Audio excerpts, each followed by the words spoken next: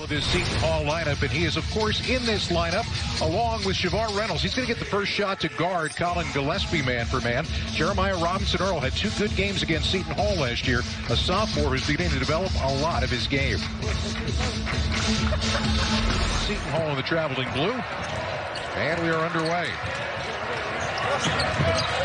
One of the questions you wonder about Villanova is what kind of stamina do they have coming back off the layoff? But will pass out of the post pretty effectively.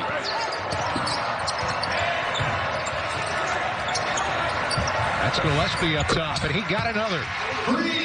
But not far off at five or seven. Kevin Willard said you don't want to get into a shootout with this team, and that right there said a big part of how he got there was Myles Powell telling him he had to be that guy. Inside, Gillespie. His eyes were incredibly hot. Apparently a technical while we were going away to that break. 75%. One-point game. And he's got the small versus big matchup here. Nice help, though, by Molson. Don't keep leaning, Mamu. He's going to go by you at some point. There you go. This team's a good free throw shooting team, though. And moving their feet and not leaning with their hands and body on transition break.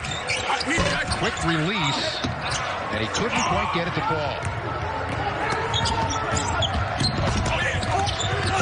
Gillespie.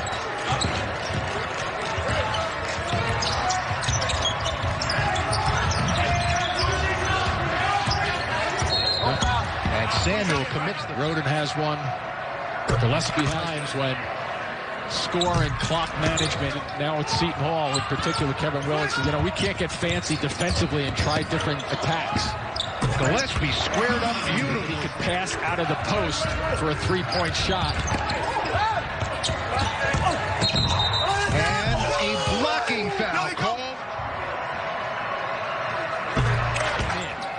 That's what they were questioning, whether it's an N1 or not. But he's there. It's kind of like a Hail Mary. Molson throws it again. Mamu caught it. Three-pointer for the win. And Bill.